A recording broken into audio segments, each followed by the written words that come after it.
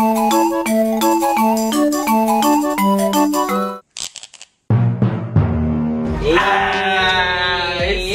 be back! What is up guys? It's your boy Dio and syempre Peach, Ayan, Godspeed. Godspeed and Talkative are back guys for another episode of Dips reviewing some streetwear. So hindi nyo alam yung Dips guys, it's Dio and Peach. Dio and Yes. Slice. so yun guys, eto nandito tayo ngayon nagbabalik sa bago nating ah, episode. So as nakikita nyo naman guys, meron tayong bagong clothing line na nandito nakikita nyo. So yeah, i-review natin sila and papakita namin sa inyo yung mga designs na meron pa sila and hopefully you can buy them and sana magustuhan nyo. Let's go! Let's Yes. get it! Go! Alright, Pete. So, let's talk about these shirts muna. Ito muna nakalabas dito sa, ano. So, etong clothing line na to, guys, ha, ang tawag dito ay Steven Rhodes. Yan. Yun. So, galing silang States, di ba, Oo, sa galing stage. Ah. yung mga designer niya, mga kapwa Pinoy natin. Oo. Yun. Pero yung boss nila, yung pinaka-line, ah, US based sila. Oo, Amerikano siya. So, yan, guys. Ito yung first design natin, yung Bloody Mary. Ayan, oh. So, Grabe. Oo, tangin na. Ang ganda nito. Parang ano sila, vintage Oo, inspired. yun no, yung mga classic inspired. Parang mga comic book dati na. Oo, comic book. Ito, ladlad mo to, Pete. natin to, Anong nakasulat dyan? Doon nakalagay Let's dito. go fishing. Oo, let's go fishing. Yan. Ayan, oh. Namin. Grabe. Parang mga classic inspired sila na. Oo, maganda yung Ganda tela. ako din eh, na ano ako, sabi ko, ganda, Oo. Tapos may tag pa yan mga yan guys Ah, ha. brand new. Ayan o, Spencer's ang tag nila. Tapos dito sa likod may nakasulat na 21.99 so dollars. Oo. So it's 22 dollars siya. So masa 1,000 plus Oo, pesos. 1,000 pesos pera natin. 1,000 pesos sa pera natin. Guys, sobrang feeling ko sobrang komportable ng tela Oo. no, Vince? Dahil hindi siya ganun kainit. Oo, yun, hindi siya ganun kakapal, hindi siya kakapal. kanipis. Grabe. Parang yung ano, tela ng Santa Cruz, mga ganyan yung usual na tela dun sa ano eh. Oo. Galing. May tag ba yan? May tag Oo, ba siya sa ilalim? Meron din tag. Eto, Yan. ayan, si Steven Rhodes. Pero ito iba to, Pizzo. Si Creepy Co. Si. Creepy Co. to. Kasama yan eh. Ah, okay. So, Kaya parang parehas sila nag-collab. ng tag sila. Oo, ano, tapos so- nag-collab sila, no? Galing. So, feeling, feeling ko si, ano, si Creepy Co, siya yung more on uh, horror, Oo, parang ganun din uh, siguro. horror designs. Mm. Ayan. Kaya okay din eh, solid din eh. Guys, grabe. Design. Solid Design. to. Ano yung nakasulat? Let's conjure? Oo. Oh, let's conjure. Kulit, let's conjure. is for children. Ang kulit. Meron pa tayong mga ibang designs dito sa box. So yun, check it out natin, Peach. Yun. Pumulot ka na sa ating Bubulot ano. na ako. Chan, chan. Yun, ang next design natin. Ayan ang Oh, next let's design. dig for treasure. Dig for treasure. Ayan, no? Activities for children. Grabe. Steven Rhodes, guys. Eh, Solid solid to. designs niya. Parang. Mga classic talaga na... Tsaka yung print niya, hindi Ako pa, oh yun. Ako nakikita ko lang mga yan, yung mga cartoon dati, yung mga graphics na... Oo, no? ah, Late, ah, late 90s. Oo, yung yung mga late 90s na ganyang graphics. Grabe. Kaya Ang galing nito. galing. size nito? Ah, large. Large, large. Large yata yung pinano sa atin eh. Oo, large. Large. Pero meron sila all sizes guys. Oo, until 2XL yata. Oo, Oo, until until 2XL 2XL. meron. Ayan guys, so. Do dito ay kami lang yung magda-drop na. Oo, just ayan guys, if you wanna order or kung gusto nyo makakita ng iba pang design, message nyo si Pete sa. Instagram niya or sa Godspeed. Follow nyo yung Godspeed. Yan. Oo, yun. Kung gusto nyo makakuha ng ganitong shirt. So, magkano tong mga shirt na ganito, Yun Pete? dahil 1,000 din binibent ah, sa pera natin, Mm. eh, ilalaglag din namin ng 1,000. 1,000 pesos. Yun. Tapos may Brand new na na sila sa'yo. oh, freebies sticker, ano, sticker. Sticker. Ayun, di ba? Yun, check nyo din yan, check nyo. For 1,000 pesos, you can get awesome shirt like this. Di ba? Di ba? Guys, solid. worth it siya actually. Tapos feeling ko ano, pre-shrunk na to mga to. Oo, Kahit lapayin mo sila, Oo. hindi na sila masisira. Pang matagalan na sila guys. Grabe, no? Galing. Ako gusto ko yung design nito. Oo, baka naman. Wow! Woo! Steven Rhodes! Baby! Ah, bigyan na natin sa ano na. Pang giveaway. Ayun na, may ano pala siya, 3-4 na long Oh, sleeve. yun, may mga three-fourth Ayan, din sige, na long natin sa kanila. Ayan, no? Ayan. Ano nakasulat? Kasya, Sell para soul. ganito ba yung size mo? Mas malaki siya Ito, sa'yo. size ko to, Size XL to. no? Ang feeling ko ang dimension ng XL nila, siguro sa sa width, 24 to 25 width. Tapos no? yung length, 28 to 29. So yun, mga ganun yung ano niya, mga Oo, dimension tama. nila. Galing, So, okay siya, tanga. Galing, so, no? classic ng mga design nila, di May may binis- stick Oo. sila ng ganun design na, Oo. nung nga tinanong ko eh, ah, buti ganyan yung mga mga design na nag-iisip nyo. Yun, na- parang yung mga, alam mo yung mga no? classic Bring na postcard dati. Oo, tama. Bring Yung back the mga- classic. Oo, yun, bring back the classic. Parang ganun, masyado na daw, masyado ng hype sa mga, alam mo yung mga common na clothing line na naglalabas Mm. ngayon. Minsan, na, minsan nagkakapare-pareho na yung iba, Mm. di ba? So ito, more on ano talaga siya, uh, uniqueness tsaka classic. Tsaka yung Grabe. din, dahil halong lahi yung nag Oh, nag-collab, no? Oh. dahil lahi, ibang lahi. Filipino, tapos Amerikano. nagka-ano, yun, parang, Grabe yung clash nila. Oo. So guys, lahat ng nagpupunta ng clothing line na yan, guys, Mm. ano, you have to step up your game. Uy, Migos. ka. Hey! Raindrops. Pero yun guys, yun nga sabi ko, sa lahat na nagpo-put out ng uh, ano dyan, ng clothing line nila, you need to step up your game guys. Dahil Oo, yun. kailangan hindi Sobrang naman ta. Oo. it's a healthy competition kasi. Oo. Kumbaga, maglalabas ka ng clothing line mo na hindi siya ganun ka Oo, yun, tama. kaganda yung design or yung pagka-print niya. Guys, matatalo ka na, dun pa lang. Oo. Di ba? Ta- meron kang kalaban ng mga ganitong clothing Oo. line, di ba? Eh, let's make it a healthy competition na hindi naman to the point na. "Uy, hindi, mas maganda ako sa'yo. To yun. the- yung sinasabi lang namin is that, ano, para lahat balance eh. Oo, Makakapili yung tao. Oo, yun. Hindi na siya pupunta dun sa pangit, di ba? Oo, yun, yun. Doon na lang siya dun sa balance na, ay, Saka nakakataas ng Oo. credential sa line Oo, sa line yun, Sa quality over quantity. Oo. Ayun guys, so 3 So, three, eh, same lang din ba? O mas mataas to feeling ko, yung price nito. Oh, pa feeling ko mas mataas to. Eh, nasa $29. Oh, $29 siya guys, ito. Guys, galing straight from US Straight- to ah.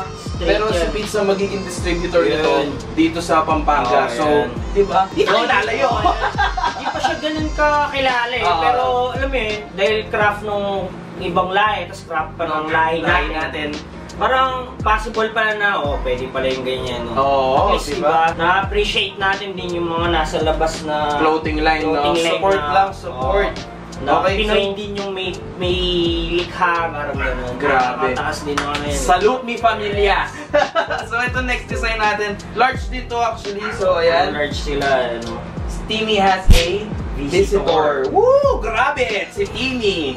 Ang ganda naman ng Feeling visitor ko niya. hindi ko sinaintindihan din ba't ganyan yung napili. Pero may mga meaning din siguro Oo, ba't meron ganyan deeper din. meaning, no? Grabe. May mga mas meaning ba sa atin kasi Oo. hindi pa natin alam yung community na meron sila. Mm. Parang So yun, para aalamin, no? aalamin pa namin Oo, para makapagbigay kami ng ibang Oo, information sa information, inyo. no? So yun, pero guys, uh, all in all, the designs, the tags, Oo. lahat, kumpleto, lahat ng hinahanap ko sa isang shirt, nandito na. Kaya, Nandito na guys. So yun guys, grabe. Dami Ako po. first time ko lang nakita to yung mga to eh. Ako din eh. Pagkakita ko nga, tangin na sabi ko. Oh. Oo. Good. Sakto nga sakto si Tia. Nandito Oo. sabi ko. Pinakita ko agad yung mga design. Meron pa ba tayo? Oo, meron pa. oh. Meron pa. Ito na, pang six designs. Grabe guys. Di ba? Woo! I like this! Easy bake. Easy Bake Coven. Coven. Eh, di ba may mga feeling talaga. Grabe! Ito guys, kung makikita nyo ah, Oo. parang yung pinapanood nyo sa horror something. film Oo, na may demonic shit Oo, na Parang may something sa mga Kasi meaning nila. tingnan mo yung ginawa nilang ano, Oo. yung pie. Oo, yun, yun. Parang yung star nung demonic Oo. ano. May mga something talaga na meaning na hindi natin. Oh, creepy ko. Ito Oo. si creepy ko ulit to. Grabe. Kaya sabi ko, yung baga yung pinagdadaanan ng artist na man, to. Yung designer Masyadong nito. ano. Masyado malalim. oo, yun, malalim yung ano nila. Kung makikita nyo lang guys, if, uh, syempre, sa ibang tao, hindi man nila mapapansin yung every detail dito sa shirt. Oo. Pero syempre, kung nakakaalam ka, and nakaka-relate ka Oo, dun yun. sa horror na pinapanood mo, guys, makikita, na- nakita mo, simple lang. Parang naglalaro lang sila, pero... May something Oh, may creepy. Yan, kasi, toy talaga yan. Oh, toy mo talaga to. Oo. Ito si Laika, in-educate na kami. ah, toy talaga to? Yung Easy Bake Bake Oven siya. It's Okay. a toy online na for kids na pwedeng mag-bake through. Oh, pero Oo. twinist niya, ginawa Oh, niyang twinist. demonic shit. Oo. Oh my God! Yun pala yung... Creepy ko, you're, you're the man, dude. You're the man, Ano dude. sila, so... Kaya may mga kids kasi pang kids yung toy na Pang yun. kids. Oh, parang kinalab din na ano, ano. Tunis niya, Oo, no? tinis niya. Yan yung sinasabi ko. Oo, maybe. Nagsasama yung dalawang lahi. Oo. Hindi naman dalawa, tatlo, eh. Hindi natin Basta, alam, eh. nagkasundo yung Oo, ano nyo, no? man. Grabe. Dalawa so, yung- for the next design, black ulit. Black ulit lahat. Ayaw sila eh. Ayan. Uy, Travis Scott vibes to ah. Pop music. Oh, cult music. Oh. Yan. Feeling ko, ang inspiration niya sa mga characters na to, doon nga sa sinabi ni Laika, yung mga toys na, Oo. oo, 70s ba yan? 80s, 90s? Hindi, ah, yung Easy Bake Oven, bandang 90s. 90s, so 90s. Ito yung mga siguro sa commercial, yung ginagawa ano. Yan Parang guys, 70s kasi ganun yung... stereo. Tama ba yung yung pagkabasa ko? kulay ng mga Stereo. print na ano nila, yung pinili nilang kulay audio. Oo, oh, ang galing ng Doon mo malalaman na classic talaga na ano eh. Galing, vibrant Oo, yung vibe Oo. niya, pangla, yung agad mong pagkakita dyan, at Uy, 90s yung Hindi, vibe tsaka niya. yung pagkakita mo dun sa. Uy, Oo, ganda. pang Talagang ano talaga eh. Quality, no? Alright, so, ayan guys, oh. Pa Grabe. For a thousand pesos, guys, why not? No. For this shirt. Grabe. Ayun, Godspeed. Ito sa akin na Ayan, ayan, ayan, ayan. Na yan. Godspeed, God bless. Ayan, ayan, oh. ito yung reflector, tinahalo na lang to. Yun, large ulit, guys. Ayan. For the next design, we have this. My first night flight. Naalala mo yun yung away mo yung kapatid mo. Sabihin ng nanay mo, oh, ito na yung kutsilyo, magsaksakan na lang kayo. Kaya sabi ko. Dana, sabi ko nung nakita ko nga to, sabi ko, Dana. Tsaka yun, agad pumasok sa akin na Dana, walang gumagawa Wala, na. mga- wala, wala. Ako, na, ngayon lang nakita ng design din. na ganyan. Grabe. Kaya kahit din si Gamen, si Gamen, siya kay Cam, Cam, kahit siya natripan niya yung mga designs niya. na Oo naman. Siyempre si Gam, alam naman natin na Classic classic talaga. sa Gam. Si Pero Gam. grabe to guys ha. I wish Excel. Oh, yan. Pero Pero alis yung next niya na wave nila dito, alam na natin Alam na na yung natin. mga trippings Trippings. resize natin. Oo. tama na. for the last design, Eh, last design nila, Last design. blue. Ito lang yung nag-iisang may kulay eh, no? Kulay, oo. Oo, yan. Yan na yung last. Ayan. Ooh! Look at that 90s vibe, bra! Oh, ito kani nung pagkabigay sa akin, sabi ko, tanga na, magugustuhan ng mga troto, sabi ko. Oo, Pagkabunot ko lang, eh, ay dana, sabi Grabe, ko. ano yung mga ano, stunts Mm. for beginners. Mm. Grabe. And sino Try this at home! Ayun. Grabe! So meron siya, kaya mo, positive vibe yung ano, dahil mga bata nga. Pero Ayun. twinish niya ng konti. Oh, di ba? na. Para lang maiba, bakit hindi, Oo. di ba? Lawak din ng ano nila eh, utak Utak nila eh. grabe. Grabe to. Ang Oo. galing nito, guys. Galing, galing. Ayan, no? For a thousand pesos, once again, guys, you can get this awesome shirt, guys. Message nyo si Pete dun sa. Instagram ng Godspeed Philippines, ha? Yun. Kasi maraming gumagayang Godspeed eh. So, iisa lang Ah, ang Godspeed sa. Pampanga. Yan. Yan.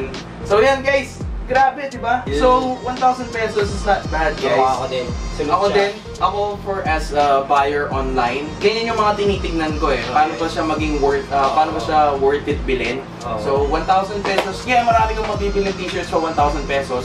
Pero maraming ano yun eh, maraming twist yun eh. Minsan marami kang kamukha, dun sa yun, 1,000 na yun, yun. yun, oo. Di ba? Marami ka din, or pangit yung quality ng 1,000 na yun, pangit yung design niya, hindi ka naging masaya. Pero dito guys, we guarantee you 100% guys, Classic. kami na yung nagsasabi. Mm. We're not expert or anything, pero as nakikita namin guys, this will be a big hit on Philippines. Oo. Di ba? Lalo-lalo na...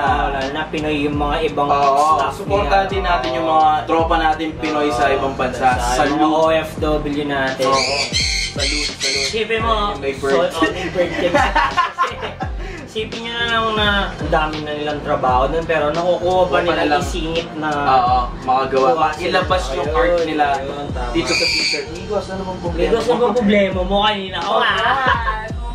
Ayun, Yun o, check nyo din yung trip shop ni Bob Kego. Oo, guys, if you haven't watched our last video na Oo. binisit namin yung secret shop ni Boss Kego, Kego, yeah. ayan. Kego So, check that out. Yan. Check that out right now, guys. Yan, galing kay... Link up here. Ayan o. Ito, galing kay uh, Bob Kego yan. Ni Pete sa mga Migo uh, Funko Pop Toy. Funko Pop. Ayan, Yan. guys. Check nyo yung mga grills doon marami. Oo, check nyo yun guys. Marami kayong mahanap na pang Oh, grace na yeah. vintage. Galing US pa yung mga yun. Mm. Di ba? Woo! International na tayo. Mga Yes. US na yung mga banat natin. mga tropa kasi nakikita kasi na mahingi yung mga line dito sa Oo, Pampanga. so So, yun. na-motivate yung mga Oo. mga tropa dyan sa Iba-ibang labas ng ano, men. Kaya nakakatawa nga eh. Galing. Oh. We love it, guys. Solid. So yun guys, yeah. So na-review na namin sa inyo to guys. Ah, hindi namin susuot kasi if you buy it para Oh, brand new nyo siyang ano, new. 'di ba? Kung size large kayo, ayan, yeah. maraming available na.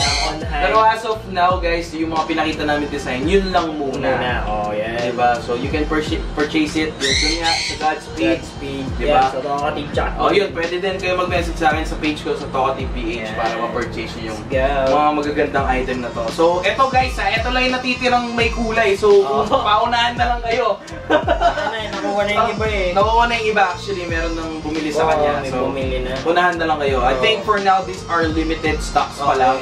Pero, Yun. hopefully, pag Sa nagustuhan nyo pa, yes. request kayo. Request lang. man. Yun, comment down below guys if you want us to do another video of this like uh, streetwear clothing line na gusto nyong i-review namin. And yeah, I think that is it for this video, Pix. Mabilis lang tayo. Okay. Please, di ba? At least nakakita kayo ng cool shirts, man. Yes. Diba? Alright guys, so once again, it's your boy, Dio. Peach! Yun no guys, th- thank you so much for watching and don't forget to subscribe to my YouTube channel and give this a thumbs up and share nyo na rin guys ha. Don't forget to share para malaman ng buong mundo Yes. kung anong meron dito sa Dips Episode 2. Ang kamote. Alright guys, yeah. See you on the next one. We are signing Yes. out guys. Peace out, peace out, peace out. Go.